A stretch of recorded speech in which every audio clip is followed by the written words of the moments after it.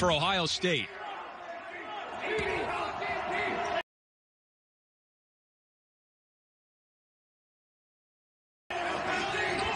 Washington Jr.